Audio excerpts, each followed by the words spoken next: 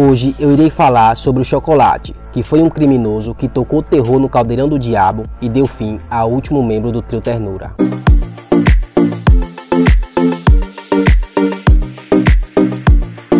Antes de começar o vídeo, me segue, me ajuda a bater a meta de 2 mil inscritos. Eu sei que vocês conseguem me ajudar a bater essa meta, beleza? Vamos para o vídeo. Os primeiros relatos do chocolate tocando o terror no caldeirão do diabo foi na morte do cara de jaca. Lembrando que o cara de jaca, após dar fim ao Naldinho do Merito com mais duas compassas, estava botando terror no presídio Dr. João Chaves. Porém, seu progresso de crimes parou no chocolate, que com mais três bandidos deram cabo na vida do seu desafeto. Eles eram o Burrego, Mazinho e Esquerdinha. E segundo eles, efetuaram mais de 150 facadas no cara de jaca. Então, o chocolate já chegou botando terror e caçando peixe grande no caldeirão do diabo. Logo depois foi a vez do Demi, que após dar fim ao Paulo Queixada, se tornou o mais perigoso do presídio, organizando uma das maiores rebeliões do Caldeirão do Diabo.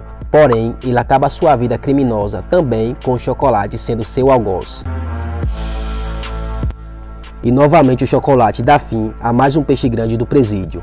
Ele, juntamente com mais dois meliantes, arrombam vários cadeados das celas para ir de encontro a Demi. Demi, por sua vez, arromba o cadeado da sua própria cela para ir de encontro aos três, mesmo sabendo que estava em desvantagem. Porém, seus algozes tiveram êxito e deram fim ao Demi, com o chocolate encabeçando todo o ato. E o que mais assusta nesse bandido é que a todo momento, nas entrevistas após o crime, ele ri e debocha, e nessa hora dá para tirar um pouco da sua personalidade, e parece que ele mata suas vítimas rindo e não sente nenhum remorso com seus inimigos. Se lembro, ah, essa não se lembra não. Tem nenhuma ideia? Tenhão, tenhão. É 58, quanto você acha que tocou pra você? Não sei, isso foi um bocado lá.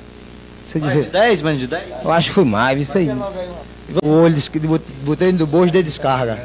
Desceu de cabeça baixa. O intérprete levou pra achar, mas não achou mais não. Nem um minuto.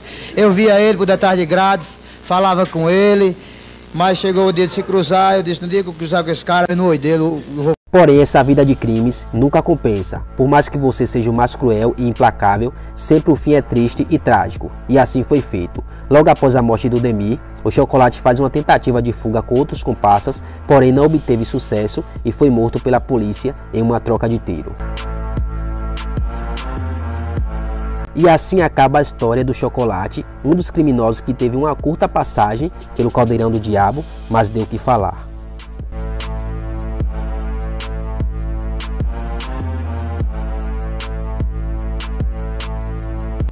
E se vocês ficaram até o final do vídeo, não esquece de curtir e me seguir, tá? Que eu tô com a meta de bater 12 mil inscritos e eu sei que vocês vão conseguir me ajudar. É, e eu vou aproveitar para dar um conselho sobre o nosso futuro, tá?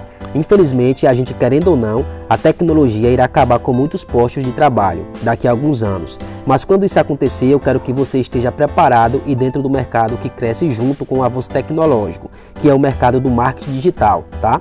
Então clica no link da descrição e saiba como você pode lucrar muito com esse mercado que mais cresce.